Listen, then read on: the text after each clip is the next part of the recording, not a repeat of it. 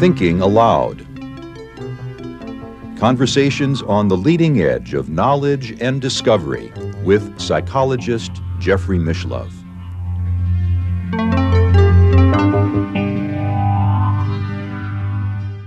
Hello and welcome. I'm Jeffrey Mishlove. Today we'll be exploring awakening inside of the quantum dream.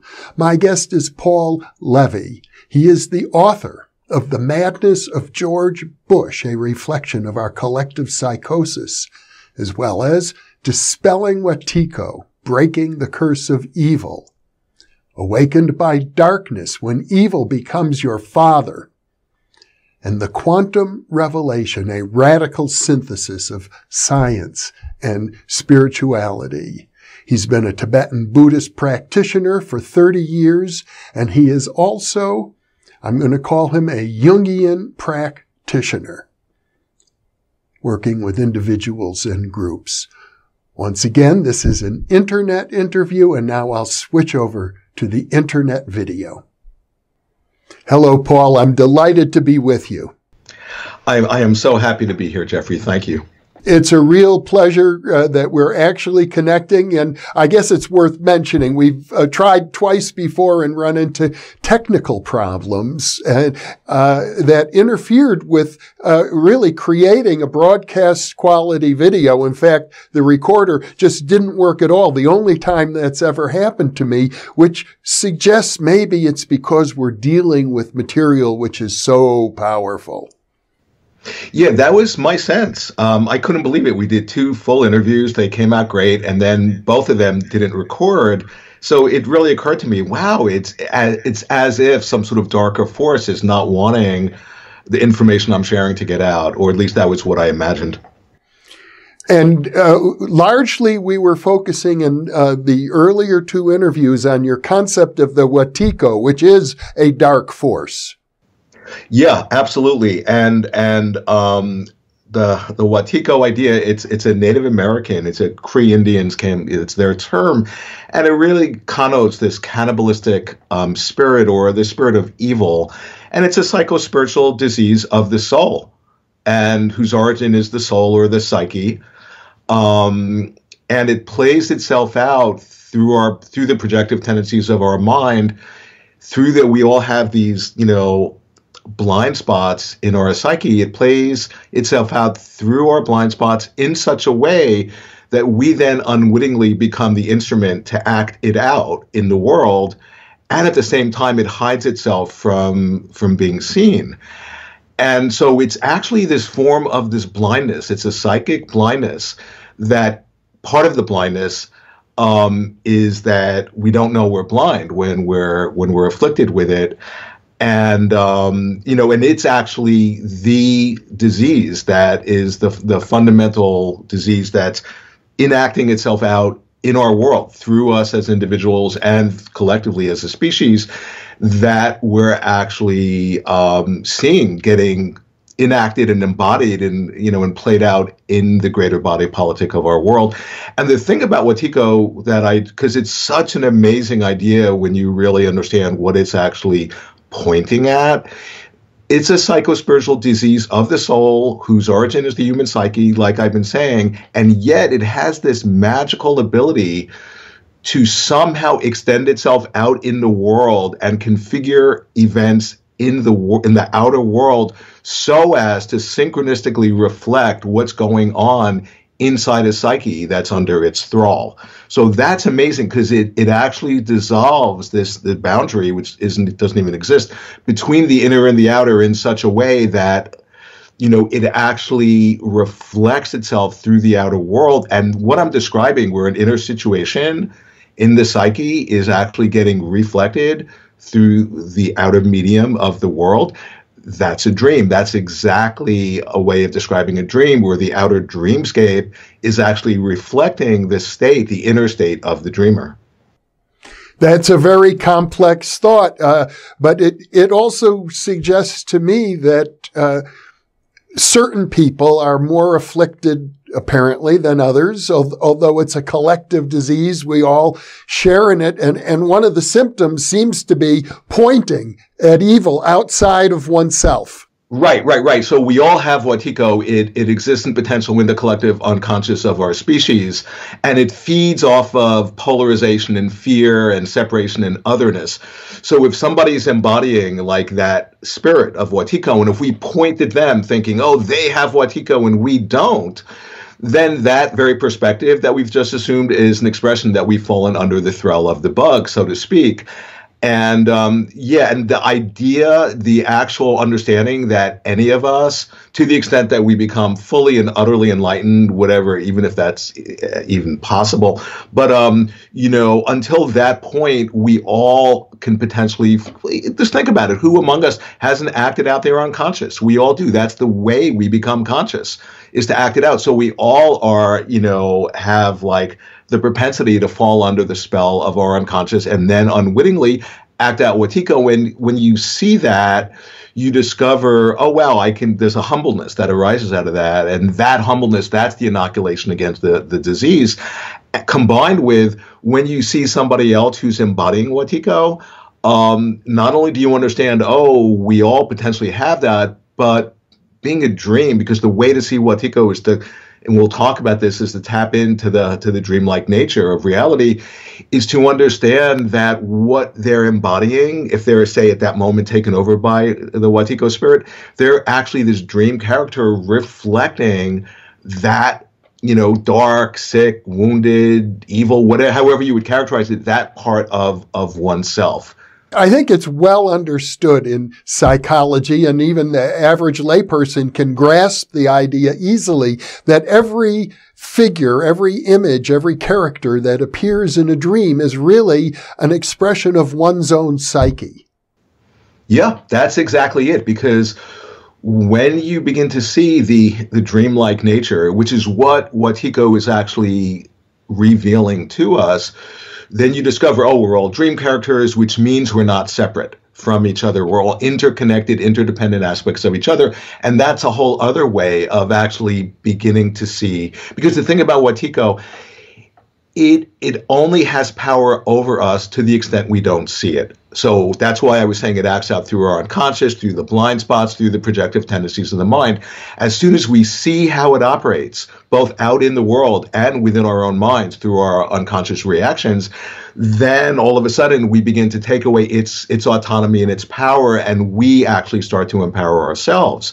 So if i could just describe in real like sort of essential form like you know one way because there are like so many ways that i've imagined in pointing at it because my work is basically trying to point at this entity or seeming entity because it actually doesn't even exist. That's the ultimate. That's the the crazy part is that ultimately Wetiko doesn't have in, any independent intrinsic existence separate from our own mind. And what that is implying, that's showing that we have this incredible untapped invisible power. Each one of us does this creative power, but to the extent we're not awake to it, then we unconsciously acted out in a way that's killing us, as is evidenced um, by what's happening in the world. So, if I could just describe in essence how Wetiko works, and one really simple way of understanding it, just through the imagination. Imagine you're in a dream at night, and imagine you have a particular point of view in that dream. Well, that that that viewpoint that you're holding is going to get reflected back by the dream because the dream is nothing other than your own mind. So, whatever viewpoint you hold um, instantaneously, not both over time and in no time whatsoever outside of time, the dream will reflect back your viewpoint because the dream is nothing other than your own psyche. And then all of a sudden now you have evidence confirming your viewpoint that it's objectively true. So then you get even more fixed in your viewpoint of what you're seeing is actually objective, separate from you. And the more you hold that viewpoint, the more the dream will just give you evidence confirming the seeming truth of your viewpoint in a feedback loop whose source is is our own mind. And what I just described is we have this genius power of of creating reality, of co-creating reality with the universe. And what, Wetiko does, one way of, of conceiving of it is that it plugs into our creative genius in such a way that it turns us against ourselves so that we imprison ourselves by the reality creating function and the creative genius and unbelievable power that we have unknowingly inside of all of us and it turns it against us to the point where it's killing us. And so, what I'm pointing at in my work is trying to shed light on that process. And there's no one else doing that to us. There's no Wetiko out there. There's no evil forces out there who's doing that to us. We have entranced, it's like we've entranced ourselves, we've hypnotized ourselves, tricked ourselves in a way out of our own mind. And so what I'm pointing at is that, hey, look, when you actually like shed light on that process and see it, you begin to connect and get in phase and in alignment with that just incredible creative power that we have to create our experience of ourselves and our experience of the world. And that's where quantum physics comes in. So I'll, I'll just want to offer that, and I can say a lot more about that. I think the really intriguing step that you take in, in all of this is, if I understand you correctly, you're really saying that what we think of as the external objective world around us is also like a dream, that everything is a reflection of ourselves. Right, that's exactly it. And that's the segue into quantum physics, because that's what quantum physics really discovered so you know um, before quantum physics came on the scene you know all of the you know this the physics community thought that this world was objective and that we were just studying this objective world and trying to understand how it worked. And so then like um, 100 years ago a little bit longer uh, onto the scene comes quantum physics and it basically empirically proved there's no such thing as, a, as an objective world. And one other way of saying that is that they discovered that the act of observing the world actually influenced the world that you were observing, which is to say, so the observer is the observed. Um, the act of observation, the object observed, and the process of observing were all one interconnected quantum system. And what that means is that the act of observation is creative. You see, it's pointing at, it's shedding light on that we are creative beings and we're creating our experience of ourselves and of the universe each and every moment. And so that's the rabbit hole. That's that I go because I, I wrote a book about quantum physics because basically what that's showing us, that is literally revealing quantum physics is revealing to us the dreamlike nature. It's literally showing us that this is a dream. And not only is it showing us this is a dream, quantum physics and the revelations that are emerging from quantum physics are themselves the expression of the very dream that it's revealing. And um, so, why I bring up quantum physics is because quantum physics is the medicine for Wetiko. Because Wetiko, if you remember, I was saying it operates through the projective tendencies of our mind in such a way that we actually entrance ourselves, putting ourselves under a spell. And one way of understanding that is, you know, we actually, by operating through the projective tendencies of the mind, which we're always do. We're always projecting. So we project onto the waking inkblot and we, you know, create whatever experience we're, or perception we're having. And then, like I was describing in that dream metaphor, we then entrance ourselves into thinking that what we're seeing out there is objective, is separate from us. And then we react to it and we become conditioned by our own projection. And um, so that, in a sense, is is one way of understanding, um, the, you know, the the Wetiko virus because it's like a virus of the mind. Interesting, viruses are so much, you know, on all of our minds right now. Well, Wetiko is the real fundamental. It, it's it's um, a higher dimensional virus that the coronavirus. We can talk about this is actually a lower level emanation into our world and into our minds. But the source of, of that is the Wetiko virus. And um, I'm just finishing up a big article about that. But if I could just describe even a little bit more how Wetiko maps onto this, because say if any of us, you know, aren't connected with our shadow, with our darker half, right? And we're all familiar, oh, well, I want to own my shadow. Well, the way that process works, so think about it. You you split off from your own shadow. So what happens? It gets projected outside of you. So just imagine, you know, being in a dream because you know if you remember quantum physics is showing us the dreamlike nature. So if this is some sort of dream and we project out our shadow well then into the dream is going to walk some person or a group of people who are going to carry that projection and who are going to embody that shadow that we've dissociated from and projected outside of ourselves. And as soon as they come into our dream, all of a sudden now we have evidence. Oh, the dark of the shadow is out, the evil is out there, you know, and so we, we don't recognize that it's actually that we're looking in a mirror. And um, and so then what happens? What do we typically do if that process gets really unfolded? And that is we try to kill them because we're just basically acting out in the world the very inner process of trying to get rid of and kill our own darkness by projecting it outside of ourselves. When it appears in front of us, we enact that very inner process on them. And by trying to, you know, to kill them in that way, whatever way we do, um, we then are literally becoming possessed by the very evil that we're trying to kill in the outside world in a mind created feedback loop that's totally insane. And, um, you know, and of course, the more I see them in that shadowy way, the more they're going to manifest that way. And the more they manifest that way, the more evidence I have to confirm my viewpoint. That's the feedback loop. That's how Wetiko works through, through you know, through uh, the psyche and through projecting the shadow. That's the psychological mechanism that Wetiko works. But then bringing in quantum physics, so I was describing Wetiko gets entranced by the projective tendencies onto our world, think it's object, thinking the world's objective, becoming conditioned by it. Well, then here comes quantum physics saying, oh, by the way, that world that you think is objective, it, it, there is no such thing. That's a nonsensical idea. That's an antiquated idea. That's a false idea. And the thing which is amazing is when you begin to see through that illusion of the objective world, something really unbelievable happens. And what happens is all of a sudden, you begin to question wait a second, what about the subject? What about who I am? If there's no object out there, as I need an object to be in relationship to if I'm going to be a subject, when I more and more understand that there is no object, there's no objective anything, this is quantum physics has empirically proven this. When you really take that in, it all of a sudden sheds light on the nature of who you are.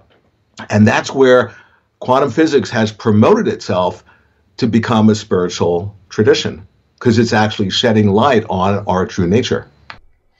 I think there's a paradox there uh, because uh, if subject object distinction isn't real, then the idea that quantum physics can empirically prove anything is also has to be called into question because empirical science depends on a subject object distinction. That's so interesting to contemplate because in a way we have literally dreamed in quantum physics into the universe a hundred or so years ago into the world through physicists minds and and into our minds and so yeah the idea of what is actually what is real well one thing that quantum physics is saying is that this universe is of the nature of a dream. It's not like a dream. It's not sort of metaphorically talking. This is like a dream.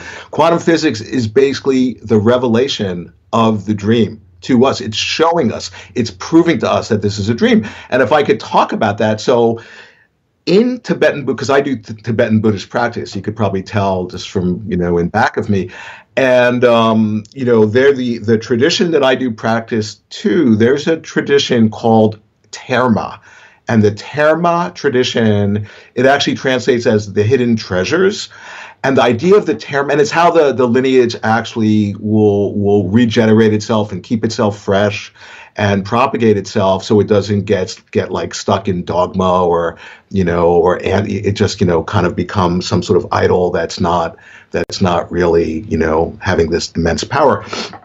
So the Terma tradition, the hidden treasure, uh, the that tradition, what it's about is that there are these hidden treasures, hidden encoded in the fabric of the universe, because the universe, like a dream, is multidimensional, and sometimes the treasures take the form of a blessed object or, or a teaching.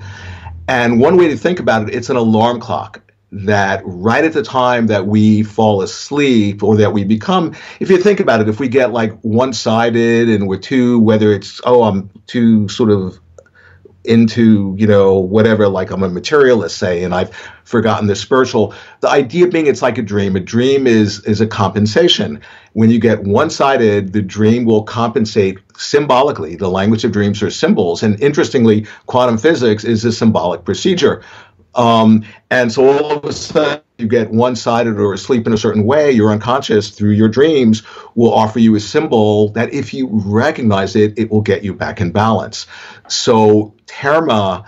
Uh, termas or the hidden treasures, they're these, in a way, these symbolic crystallizations that come into our world, world and out of our world, and they're like these these these vitamins that we that that the universe secretes to help us to get ourselves back in balance. And it's a real thing. It's not just some sort of fairy tale thing. Scholars study this Terma tradition. Like this is like an amazing thing. This is how this lineage, you know, propagates itself, you know, to the current day over centuries and um, to transmit these enlightened um, teachings.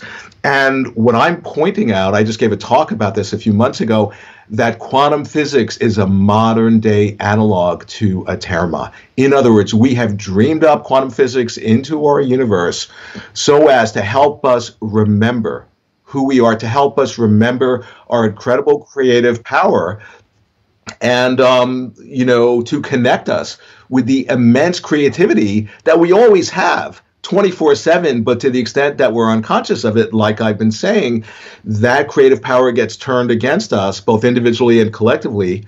Um, in a way that's killing us. So that that in essence, um, you know, the idea that quantum physics is actually a terma is a hidden treasure, and not it's not the only terma. Like there are like countless termas that are that are emerging in our world and um, but quantum physics is one of them that I think has particular this relevance when we're talking about the Wetiko mind virus.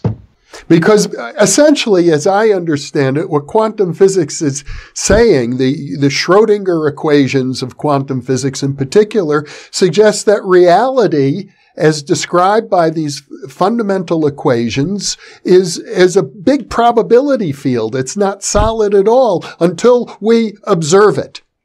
Right, that's exactly right, and and that's actually when you really contemplate just that what you just said. It, it's so inspiring, and I'll just give you an example. So you know, um, and now keep in mind that quantum physics has discovered that this universe is quantum on all scales. It's quantum through and through. So even though it's the study of the really, really small, trying to find the building blocks of this universe, um, it actually has discovered well that there is no fundamental building substantial building block separate from conscious from our own consciousness. That's really interesting but it's also like i was saying um, discovering that this universe is quantum through and through. And here's one way of understanding that with what you just said jeffrey that really i think is helpful. In that you have these quantum entities and before they're observed they exist in a state of potentiality in such a way that they, um, any and every way they could ever potentially manifest, they manifest, or they they they're they're they're existing in this potential parallel universe. And as soon as we observe that quantum entity in whatever way we do, all of those potentialities just vaporize and disappear as if they never existed, and then one of them will actualize at that moment, and that's what we call reality. Now, here's the thing which is amazing. What quantum physics is saying is that even if one of those, you know, countless potentialities was, to quote a quantum physicist, highly, incredibly, ridiculously unlikely, it could still be the very universe that manifests right now in this very next moment. And so all of a sudden, it enlarges the realm of the possible of what's possible. Because, for example, if we think because of what's happening in our world right now, oh, things are hopeless and, you know, um, we're destroying ourselves and, you know, destroying the, the biosphere, the life support system of the planet, and then totalitarianism. And by the way, Jung um, didn't know the word Wetiko, but he. Um, actually was really switched on to the idea. He called it a number of different names all throughout his collected works, but one of his favorite names for it was totalitarian psychosis. Okay, and think about what I was saying before that the thing about Wetiko, it, it's like this this patholo- this pathogen that subsumes and co-ops the healthy parts of the psyche into its service so that it colonizes the psyche and creates a shadow government and it's so it like dictates like a dictator to the ego. So it sets up a totalitarian regime in the human psyche that's afflicted with it. Well, remember what I said that that Wetiko it's actually reflected like a fra- like an iteration of a fractal through the outside world, where the macrocosm mirrors the microcosm. So that inner state of being afflicted by Wetiko and having your mind colonized by this like totalitarian sort of this regime, that's actually getting reflected through the outside world. And once we recognize that, that actually expands our consciousness because we're seeing the dreamlike nature. And that point of view helps us to dispel Wetiko. But if I could just go back to what I was trying to say about when we get, um, you know, entranced by the horrors that are playing out in our world today and the suffering and the nightmare that's happening, and we become pessimistic, then by holding that viewpoint, we're then going to draw evidence to confirm our pessimism in a mind created feedback loop such that we become um, not the solution, but we become part of the problem. But when you understand that quantum physics is saying, hey, even if something is ri- incredibly, ridiculously unlikely, it can still happen. That means that the fact that, that our species could sufficiently wake up in time to avert the impending catastrophe, that's a possibility. That's an absolutely real possibility according to quantum physics. And so, and if we're not you know, envisioning that, then what are we thinking? You know, the idea being is that this is the power of our dreaming, that we have this incredibly creative power. And when you see Wetiko, you don't want to become fascinated by it, but seeing it, then that's the inoculation. And then, as a sovereign being, we can invest our attention, our attention in creating the world we want to live in. So then we can actually dream up and envision a world in which we're all actually having the recognition of our interconnectedness, our interdependence, that if I help you, it helps me. That's the world that I'm dreaming. And it's more and more of us are dreaming that world together. You know, then by the power of our dreaming, we can literally materialize that into that's that's the incredible creative dreaming power that all of us have. Now, when I think of dreams normally, I think of them, they're my dreams. They're inside of my head only. Uh, no one else is responsible for my dreams but me. But when we look at reality, uh, external reality, uh, it seems to me that uh, there, there's a Buddhist term that, that seems appropriate. I think it's something like mutually dependent co-arising. Right, right. Interdependent co-origination. And it's, yeah, I've, I've written extensively about that and it's basically you know that's an expression of um, that there's you know that there's n- there's no thing there's no objective anything including us. Like i only exist as a being and i'm in relationship to you. I don't exist intrinsically independently from my own side but i i exist you know in this relation to you. But you don't exist as an independent intrinsically existing objective person because you only exist relative to other beings who themselves don't exist objectively or independently or intrinsically, but they exist, you know, in relation to, and we all exist interrelated to each other, and there's no like fixed point. This it's not a reference point in and of itself. We're all part of an interconnected, interdependent web, and we're not just these separate aspects of the web that are inter acting. No, that's still a subtle form of seeing in a, in a dualistic way. Qu- quantum physics is pointing out the wholeness of this universe, that this universe is seamlessly whole on every level. And like just one thing I want to just um, contemplate for a moment, one way of understanding what I'm talking about through the imagination and entering into imagine we have we're having a dream and imagine you're in a dream and imagine all of a sudden you have the recognition that you're dreaming and you have lucidity. And then imagine that some of the other dream characters who are just aspects of yourself, they're also waking up to the dreamlike nature and having lucidity. And imagine you all come together and hang out and you just trip out on what you're realizing. You contemplate it going, "Oh my god, we're in this universe. This is this this is a dream universe that we moment by moment are co-dreaming into materialization together moment by moment. And that's always been the case, but we didn't realize it. And because we didn't realize it, we were dreaming it up in a way that was deeply problematic.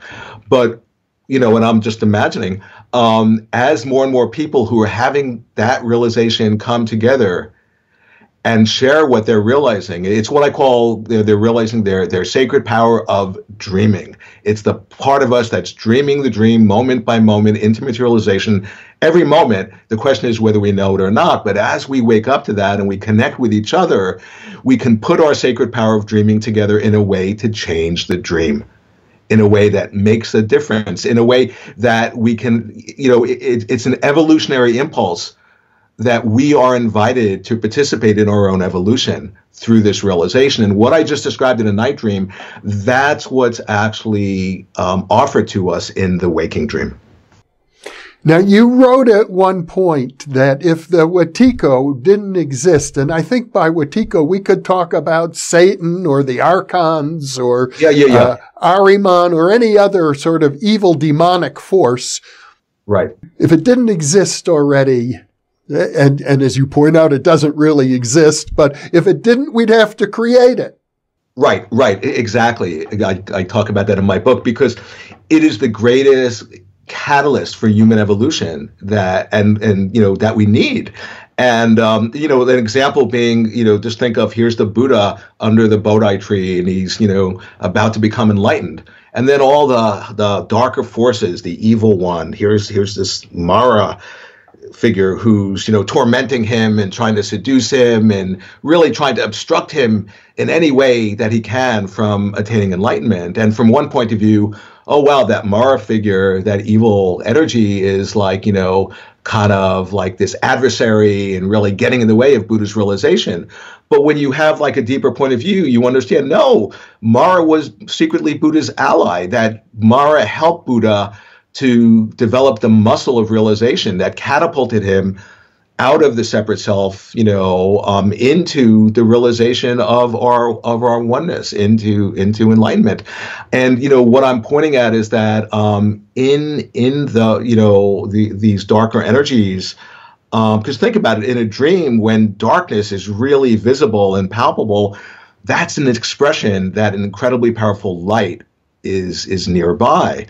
And so what I'm pointing at is that encoded in the darkness, um, it's actually potentially helping us if we recognize that. And a way to understand that is like Wetiko itself is a quantum phenomena. And what I mean by that, a quantum phenomena, here, think about light.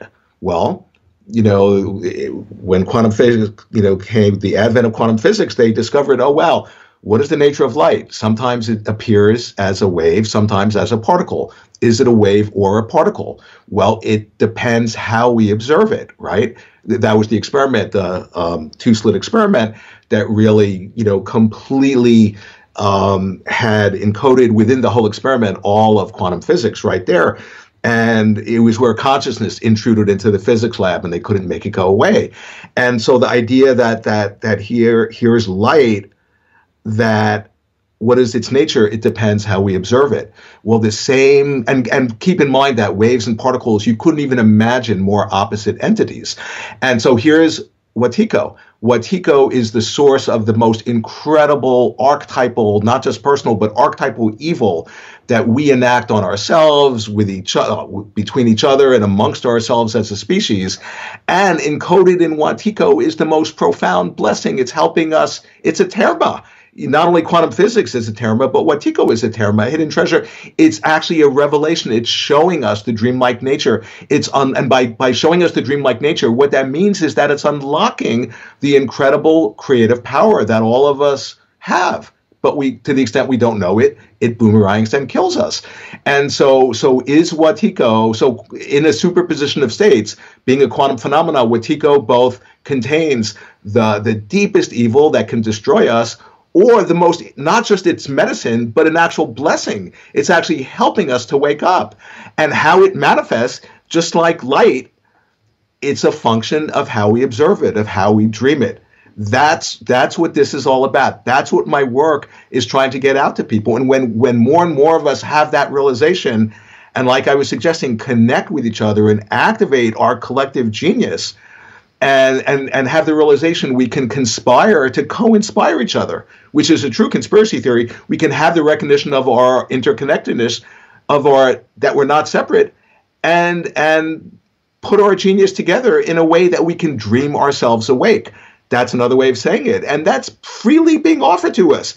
You know, and there are very few, I mean, there are actually lots of people who are talking about it, but I just want to add my voice. What you're saying reminds me of what I think is, is one of the most mysterious and profound statements that come out of the Christian tradition. Uh, I'm not a Christian, but I keep thinking about this all the time. Uh, when when Jesus said, "Resist not evil," I I think it's a very subtle point, but he's I, I think he was trying to say something along the same lines that you're getting at. Yeah, well, and it's interesting because that brings up how I discovered what I'm talking about, and um, and it was through personal experience that almost killed me, because you know I'm not going to go into the whole story, but it, you know I'm an only child, and my father unwittingly, you know, was a channel for Wetiko. He just like, you know, like people do to the if the extent they're not, you know, doing their own inner work, well then they unwittingly act out their unhealed abuse. And my father did that. And being a sensitive kid like we all are, I was the recipient, and it just created enormous suffering. And and to the point where I went from being a highly accomplished kid to not being able to live my life. And and then I went so deeply inwards into my mind to try to get to the root of that you know, I was in my early to mid 20s and I had a huge, you know, mind blowing spiritual awakening that got me, and I was so excited and enthusiastic of what I was realizing, which is that, hey, we're having a collectively shared dream. I was realizing that and it was completely blowing my mind and i there's no way you can be prepared for that. At least i wasn't. And but i was so excited that it, it, got me in deep trouble. It got me hospitalized and diagnosed and and you know and my parents bought into the the diagnosis, and then you know after a number of years later, they died, completely convinced that I'm just deluded and mentally ill and in denial of my illness. So it had a real tragic aspect. But I was fortunate that I was able to get out of the psychiatric system really quick and continue my awakening because it was being reflected back to me that I was mentally ill, that I was bipolar, that I would have this illness for the rest of my life. And, as I was being diagnosed, I was diagnosing the psychiatrist as just being incredibly just stupid. I just they had no idea, you know, what I was going through. And thankfully, not for one second did I buy into their diagnosis, but I knew it was just made so clear to me that I was having an awakening. And so, but the point is. I began to recognize because with my father in my family system, whenever I was pointing out the darkness that he was playing out, it was like the whole field non-locally configured to protect the abuser. And then psychiatry came in and they aligned with my father. And I became the identified patient and I became the one who was sick or bad or evil or whatever it was.